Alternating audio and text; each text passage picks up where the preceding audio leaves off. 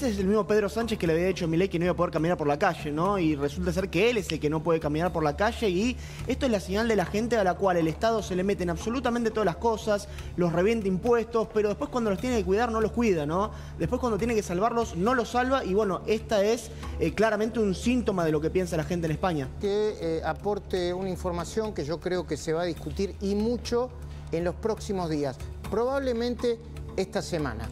A ver. El gobierno, confirmado desde la oficina del presidente, impulsa un recorte al financiamiento de los partidos políticos Ah. para aumentar el presupuesto en educación en términos generales y particularmente en el tema de las universidades públicas. ¿eh? Repetimos, el gobierno ya tiene decidido proponer un recorte al financiamiento de los partidos políticos para trasladar ese dinero o parte de ese dinero a la administración y a la gestión de las universidades públicas. ¿eh? Nos lo acaban de confirmar desde la oficina del presidente. Eh, ¿A través de qué mecanismo lo va a hacer? Es muy probable que en la discusión por el presupuesto 2024 el diputado eh, nacional José Luis Esper, presidente de la Comisión de Presupuesto y Hacienda, termine haciendo esa propuesta para someterla a consideración. ¿eh? Acaba de ser confirmada esa información por la oficina del presidente, Agustina y Hugo. Eh, muy interesante el tema, Sí. ¿no? Porque de nuevo se recorta en un lugar que pareciera estar más vinculado o con la casta o con un gasto superfluo frente a la emergencia económica que tiene la Argentina, ¿no? Y sobre todo deja en jaque, ¿no? El sistema político, porque eh, los partidos, digo, tienen que decir que no, ¿no? A una propuesta como esta, que dejaría la educación con menos presupuesto. Bueno, a mí me parece una jugada inteligente desde lo político. Yo no sé si es tan factible desde lo práctico. Claro. Pero sí, de nuevo, vuelve a correr el eje de la discusión. En abril se discutía sobre una de las banderas, yo te diría, más nobles que tiene la República Argentina, que es universidad gratuita y autárquica, y hoy se está discutiendo sobre las auditorías.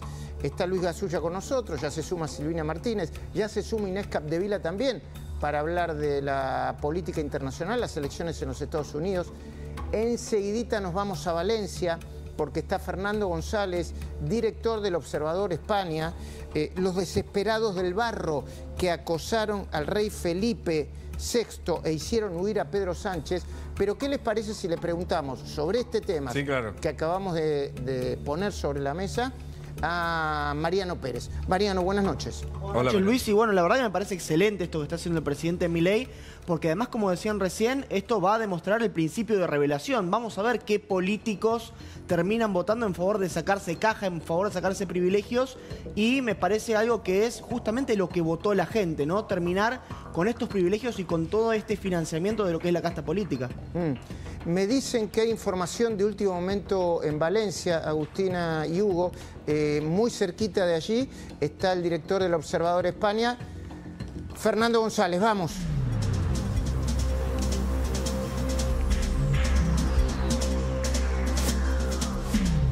Fernando, muy buenas noches. Hay cacerolazos en Valencia. Hola, Fernando. Hola, ¿cómo están? Muy buenas noches, Luis, a todo el equipo, buenas noches. Sí, sí, hay, eh, hay cacerolazos, hubo a partir de, de las 8 de la noche y siguieron. eh, de las 8 de la noche son, son cuatro horas menos.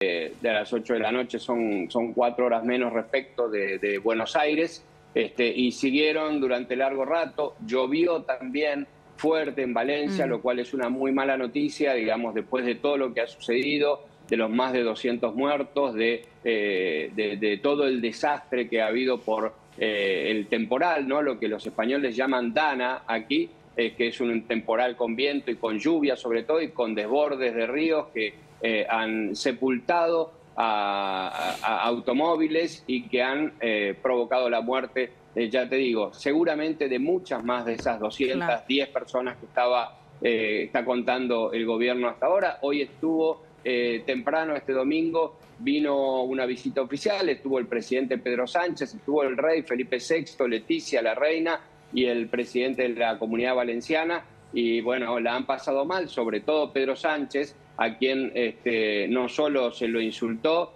no solo se le tiró bolas de barro, eh, palos, algún palo que voló y le pegó en la espalda, sino que después le rompieron la camioneta en la que había venido, terminó con todos los vidrios rotos, más eh, eh, también hubo quejas y reclamos contra el rey, contra la reina, contra Felipe y contra. Leticia. La diferencia entre ellos fue que tanto Felipe como Leticia, los reyes de España, se pusieron a hablar y a escuchar los reclamos de la gente. Ah. Leticia terminó llorando junto a muchas de las mujeres que le relataban las desgracias que habían sufrido. Eh, Felipe eh, recibió los reclamos airados, muchos de ellos, de, la mm. gente, pero la verdad es que asumieron con una dignidad que no tuvo Pedro Sánchez, el presidente que se metió en la camioneta eh, escoltado por, por su equipo de seguridad y se fueron, se fueron de, Valencia mm. en lo que fue hoy una jornada muy, pero muy negativa para el mm. presidente de España, que ya tiene eh, problemas de, corrupción con, la esposa, que tiene problemas con algunos funcionarios del gobierno, tiene muchas complicaciones y ahora esto, ¿no? que ha mostrado España, que es un país que tiene un estado de bienestar eh, de primera categoría, un estado ausente en muchos mm. lugares porque pasaron cinco días y no había eh, personal del Estado para asistir en muchos de esos pueblitos de Valencia, de la comunidad valenciana, de Andalucía, de Cataluña. Fernando, tenemos material para mostrar, por favor. Todos relatos, Fernando, que hablan de una del cansancio ¿no? que, tiene la gente en este momento. De hecho, vamos por orden. ¿eh? Tenemos para ver lo último, que son los cacerolazos ¿eh? de los que vos hablabas. Mira el video.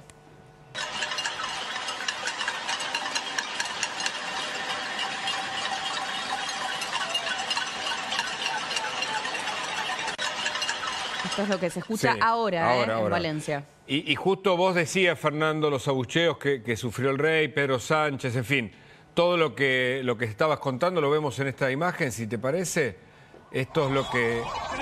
Obviamente, Pedro Sánchez. ¿Qué estamos viendo ahí? ¿Qué estamos viendo ahí, chicos? Ahí Pedro Sánchez... Esa es la eh, camioneta oficial de Pedro Sánchez. A la que eh, rompen justamente lo las víctimas, ¿no? Que le están reclamando ayuda. Él dice, si me piden ayuda la voy a dar. El presidente cada vez más desgastado.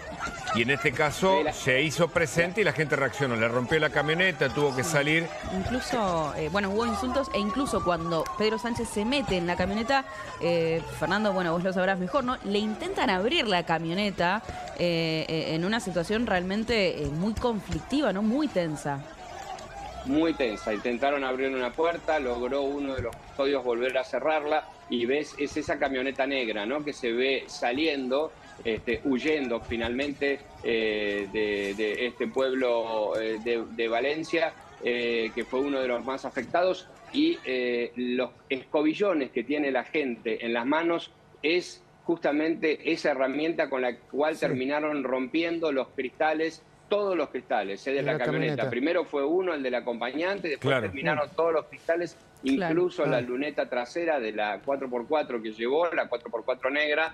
La verdad es que hay mucho fastidio, mucho reclamo eh, y, mucha sensación de que han fallado los operativos de, sobre mm. todo de, eh, Fernando... ¿no? Una vez eh, la, tragedia climática es la tragedia climática, mm. pero después este, no estuvo, muchas veces no hubo funcionarios, no hubo equipos. no avisaron a tiempo. Pedro Sánchez anunció ayer el envío de 5.000 militares y 5.000 policías después de que ya todo era un desastre, ¿no? Cuando estaba este, teniendo ya las críticas no solo de los partidos políticos opositores, sino de la mayoría de la sociedad, como se está viendo en este cacerolazo. A vimos también, vimos también, yo vi Fernando eh, a, la princesa Leticia eh, eh, discutiendo y discutiendo y el príncipe eh, también eh, eh, discutiendo con la gente, tratando de calmarla. Trataron mejor a los reyes que a, Pedro Sánchez.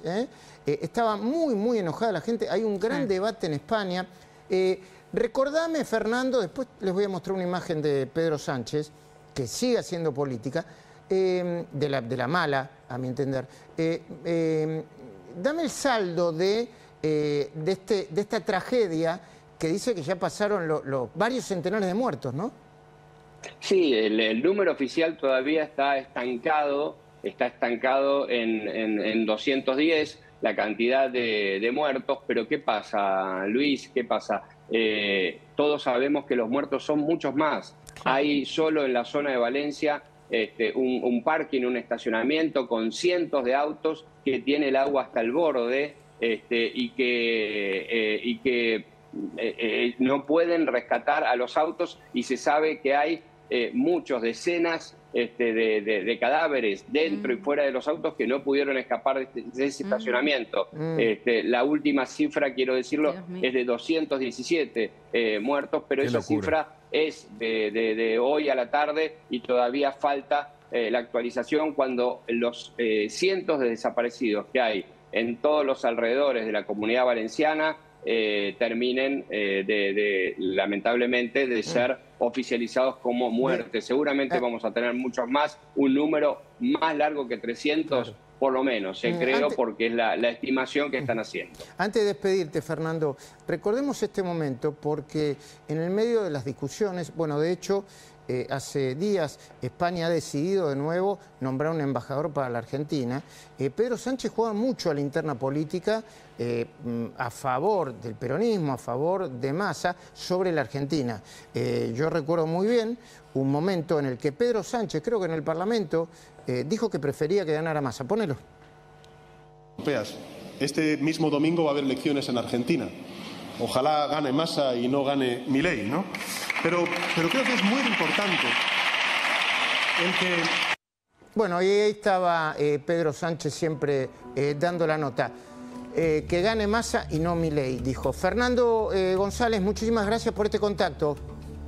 Gracias a ustedes y el nombramiento del embajador Aristegui en Argentina es una derrota de Pedro Sánchez que esperaba una disculpa de Milei, la disculpa nunca llegó y sin embargo tuvo que poner el embajador para rearmar la relación bilateral. Enseguida empezamos a conversar con Inés Capdevila, eh, eh, la responsable de la sección internacional de la Nación, para meternos en otro gran tema y muy candente. En martes, supermartes, elecciones en los Estados Unidos, a mi entender, por lo que he leído, con, con el voto a voto muy, muy parejo. Pero una última mirada de Mariano Pérez sobre lo que estamos conversando. España, Argentina y lo que pasó. Bueno, ese es el mismo Pedro Sánchez que le había dicho a Milei que no iba a poder caminar por la calle, ¿no? Y resulta ser que él es el que no puede caminar por la calle y esto es la señal de la gente a la cual el Estado se le mete en absolutamente todas las cosas, los revienta impuestos, pero después cuando los tiene que cuidar no los cuida, ¿no? Después cuando tiene que salvarlos no los salva y bueno, esta es eh, claramente un síntoma de lo que piensa la gente en España. Bien. Eh, ahora sí, eh, vamos con lo que adelantabas vos recién, Luis. Una elección muy importante para el mundo que obviamente va a tener repercusiones aquí en la Argentina y es la elección de los Estados Unidos. Está Inés Capdevila, secretaria de redacción, eh, a cargo de Internacionales de la Nación. ¿Cómo estás, Inés? Bienvenida a cargo de Internacionales de la Nación. ¿Cómo estás, Inés? Bienvenida. Hola, Inés. Buenas noches a todos ahí. ¿Cómo andan? ¿Cómo Bien. estás? Bueno, efectivamente, hoy todo se define en este margen de error de entre el 3 y el 4%. ¿Es así? ¿Tan reñido está? Efectivamente. Eh, reñidísimo, Agustina. Verdaderamente esta elección nunca tuvo algo similar de antecedente en la historia norteamericana por la paridad extrema entre Donald Trump y Kamala Harris. Muchas preguntas aquí. Mm. Esta paridad se traslada también a los siete estados decisivos en los cuales probablemente se determine la elección del próximo presidente por cómo está eh, conformado el proceso de votación en Estados Unidos y, por cómo se adjudican los delegados al colegio electoral. Mm. Segunda pregunta, y es la gran pregunta que hoy nadie se atreve a responder con certeza. ¿Están erradas las encuestas? Claro. ¿Hay un voto subestimado como en 2016 y 2020 por Donald Trump? ¿O hay un voto subestimado por Kamala Harris como en 2022, en las legislativas de 2022 y en las presidenciales de 2012? Un montón de preguntas que nadie se atreve a responder porque también han sido tantos los fallos de las encuestas que están con muchísimo pánico las consultoras. ¿Es cierto que Trump tiene un sprint final que lo favorece en las últimas tres o cuatro semanas o, no tanto? Mira, Hugo, tuvo un sprint final que comenzó en la segunda semana de octubre, muy similar a lo que había sucedido en 2016 y 2020. ¿Por qué sucede eso, ese sprint final? Porque básicamente ahí es cuando empiezan a comprometerse los, lo que se llama votantes menos comprometidos. Ajá. Y esos votantes evidentemente se volcaron en intención de voto por Donald Trump. Sin embargo, la semana pasada Kamala Harris logró estabilizar su caída. Y aquí hay un asterisco para hacer.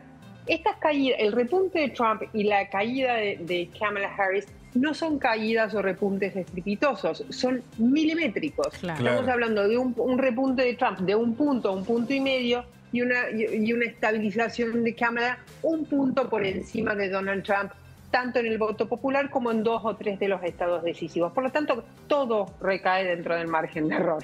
Ahora, eh, Inés, eh, vi, creo que, eh, eh, entiendo que la escribiste vos las notas, que hay un fenómeno bien interesante en los Estados Unidos con las consultoras, que es que por temor a pifiarle mucho el resultado, se están copiando todas entre ellos, ¿no? Ahí está la nota, muy interesante la nota de hoy de, de Inés, suspenso, empate y dudas, a dónde apuntan los números finales de Harry y Trump.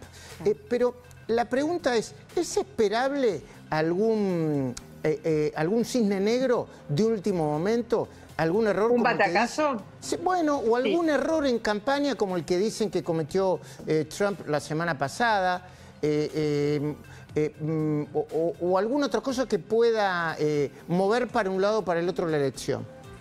No, ya a esta altura, Luis, es muy difícil que suceda así, porque estamos ante una campaña que, así como es inédita por la paridad en la que llegan los, los dos rivales republicanos y demócratas, también es inédita por la cantidad de incidencias que tuvo en los últimos casi 80, 90 días. Claro. Primera incidencia, el candidato original del Partido Demócrata se bajó, Joe Biden. ¿Por qué? Porque verdaderamente no había forma de que llegara a, ganar esta elección. Segunda y tercera incidencia, dos atentados contra la vida de Donald Trump.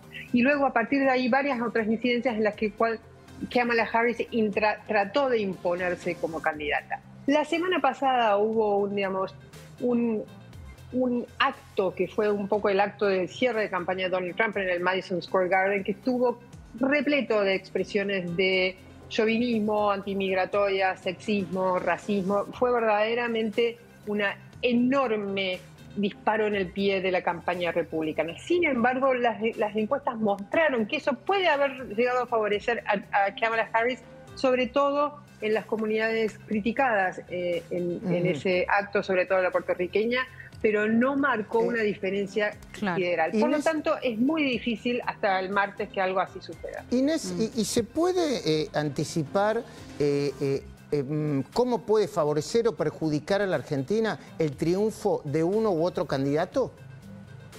Mira, eh, te voy a responder.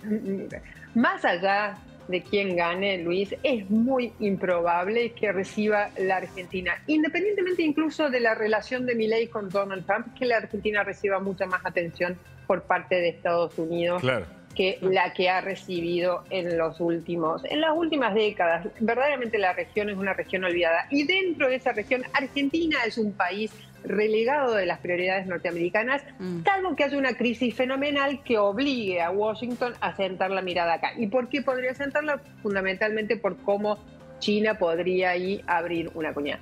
Ahora, evidentemente la administración de Milley espera, apuesta a un triunfo de Trump, lo dijo el propio Milley en febrero pasado en la, en la cumbre conservadora cerca de Washington. Ahora, ¿cómo eso puede hacer avanzar los intereses argentinos, sobre todo en los organismos multilaterales o en la relación bilateral? Ahí hay que ver también, eh, Luis, no solo la relación entre los dos, sino qué tipo de Trump, en caso de ganar, es el que va a asumir el 20 de Claro. enero. Y estamos en un Trump que es muy diferente del que fue en 2016. Eso por un lado. Y por el otro lado, Trump no suele ser muy leal con sus amigos. Eso es algo que tiene que tener en cuenta Javier Milei para plantear, en caso de triunfo de Trump, su relación con la próxima Casa Blanca.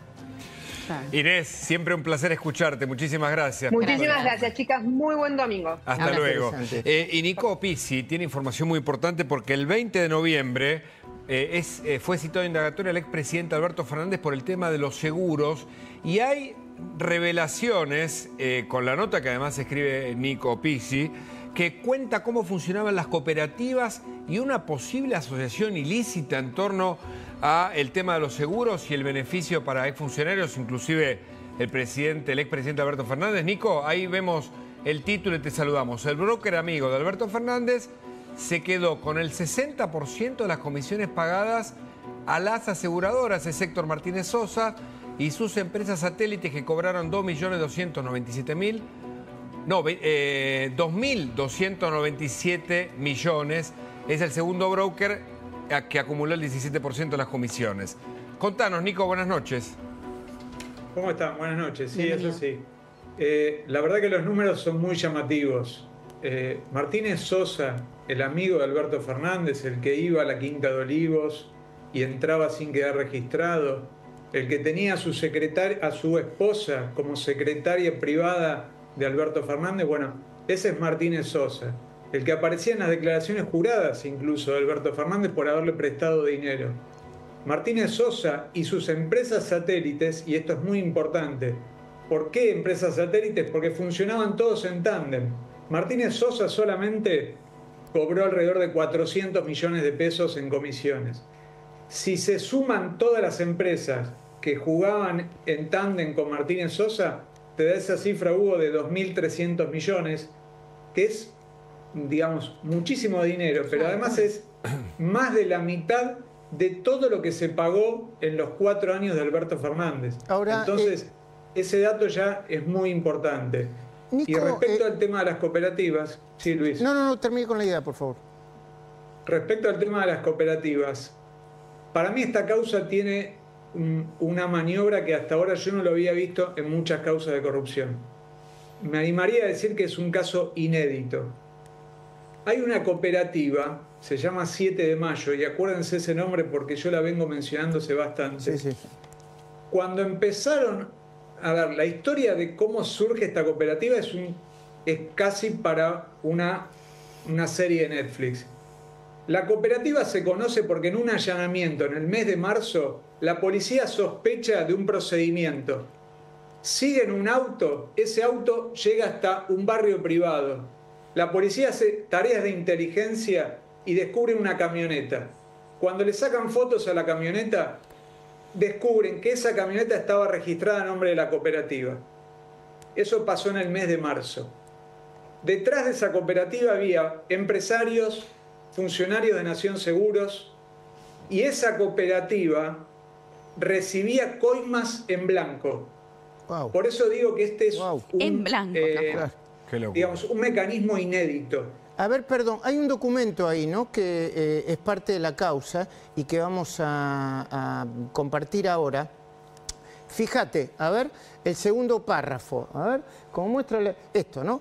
En el caso de Héctor Horacio Martínez Sosa, aparece vinculado a los siguientes intermediarios con un total de, espero leer bien, 2.297 millones o el 68,3% del universo de comisiones, recién lo explicaba Nico Pizzi, de la maniobra, equivalentes a su vez a casi el 60% liquidados por Nación Seguros S.A.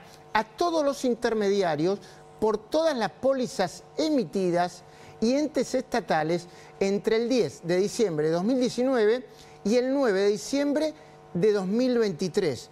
Fuerte eso. Ahora, Nico, ¿cuál sería la responsabilidad del expresidente Alberto Fernández y qué significa, estamos con Luis Gasulla y Silvina Martínez acá también para analizar, que lo hayan citado a declaración indagatoria, a prestar declaración indagatoria, Nico?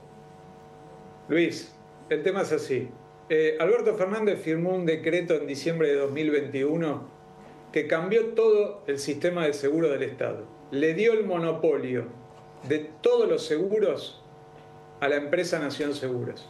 Esa es la principal responsabilidad de Alberto Fernández. Pero lo que dice el juez Ercolini es que Alberto Fernández estaba detrás de toda la maniobra de direccionamiento. ¿Por qué la maniobra de direccionamiento? El decreto en sí, lo que dice Alberto Fernández, es que no había ningún delito. Él venía diciendo esto desde el comienzo. El decreto en sí no, no genera ningún delito, porque el decreto le traslada el monopolio a Nación Seguros y él decía, le quita Claro. el negocio a los privados. Lo que no dice es que después aparecieron intermediarios. Todos estos brokers que cobraron comisiones estaban en el medio entre cada organismo y Nación Seguros. Entonces, lo que dice Ercolini es, más allá del decreto, acá hay un direccionamiento y Alberto Fernández estaba detrás de todos los funcionarios de Nación Seguros que ponían intermediarios a dedo, Luis. Claro. Y lo que te decía antes de la cooperativa, lo quiero redondear porque es muy importante. Es un mecanismo inédito. ¿Por qué? Porque la cooperativa recibía transferencias en blanco, en blanco. Siempre que estamos acostumbrados a pensar en coimas, pensamos coimas en negro, obviamente. Nadie hace una coima, nadie paga una coima. en Entiendo. Nico. Dije, son transferencias en blanco No, y las dibujaban Ya esto es con conceptos absolutamente improbables, qué sé yo, un viaje a tal lado. Le ponían conceptos genéricos que después ni siquiera documentaron. Eso es lo que, lo que señala Nico Pizzi y me parece que es una de, la- de, de las curiosidades eh, más, este, más fuertes de la causa. ¿Qué me decía Luis Gasulla? Claro. Perdón. Me recuerda a Diolfan, la, empresa creada por Alejandro Van der Broele que inventan un pago para la- el estudio de la privatización del Banco de Formosa. Es algo parecido. Pero Agustina, Privatización del Banco de Formosa. es algo parecido. Pero Agustina, vos tenías un Sí, material no, para y, bueno, compartir. sin hablar obviamente de, de- de todas las ramificaciones que puede tener, porque vos también lo decías esta semana, Nico, que la maniobra de la que tanto venimos hablando en Lancés después se repitió en Claro. 20 organismos más. Pero hablando de Alberto Fernández, fíjate, antes de despedirte, Nico, te queremos mostrar esto, lo que decía el propio Alberto Fernández sobre él mismo antes de dejar el poder. Mirá. Yo me voy con la tranquilidad de que ningún amigo mío hizo negocios. Ningún hermano mío se puso se volvió billonario porque yo fui presidente. Y me voy con lo mismo que llegué. Bueno, Eh, Ahí- no hay ahí- remate. Sí, eh, eh, eh, qué fuerte, ¿no? Es tremendo este Qué video. fuerte, la verdad que muy fuerte. Bueno, Nico, y antes de despedirte, se viene otro tema, otra, otra causa, dos causas fuertes. Yo creo que en cualquier momento, antes de fin de año, algo va a pasar y, malo para Alberto Fernández, la causa de violencia de género. Y por otra parte, el 13 de noviembre, me parece que se confirma rápidamente, Nico, eh, los principales confirma rápidamente, Nico, eh, los principales datos, la condena a Cristina Kirchner por la causa vialidad. Sí, Luis, se está hablando mucho, hay un rumor muy fuerte en, en Comodoro que esta semana misma puede haber novedad respecto a un posible llamado indagatoria para Alberto Fernández respecto Ah. a la causa de violencia. A mi modo de ver, eh, lo del viernes respecto a la causa seguros puede cambiar esa dinámica. Mm, por- quizás me equivoco, pero no veo dos indagatorias en pocos días, pero es probable porque venimos contando hace tiempo que el fiscal Ramiro González está trabajando en la indagatoria por la causa de violencia y la mayoría de los testigos ya declararon. Luis. Respecto al 13 de noviembre, Claro. la fecha es inamovible. Faltan 10 días, Mm. yo te vengo contando, hay dos jueces que ya votaron, falta un voto, será 2 a 1, será 3 a 0, pero no hay Bueno.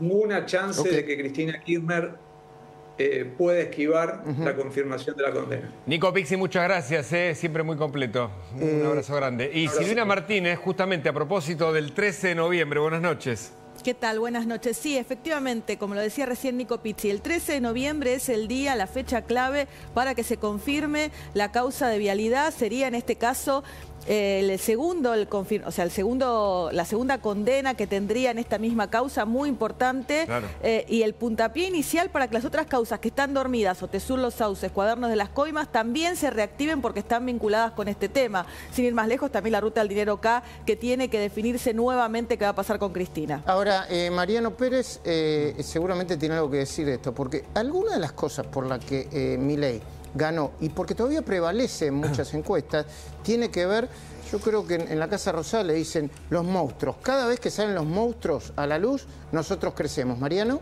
Sí, bueno, sin lugar a dudas que tener personajes del otro lado como Cristina Kirchner, como Massa, como Grabois, como Moyano, eh, como como Grabois, como Moyano, eh, como todos estos personajes, bueno, recién vemos lo de Alberto, ¿no? Gente que estuvo tan empeñada en hacer curros, negociados, en, eh, bueno, levantarse mujeres, Alberto, en vez de estar gobernando, hacen que, bueno, la gente que quizás le moleste alguna cosa de mi ley o no le gusta alguna otra, eh, mire para el otro lado y vea que del otro lado están estos orcos, están estos monstruos, como vos decías, que por supuesto que le hacen muy bien a la imagen del presidente tener este tipo de enemigos. Y hablando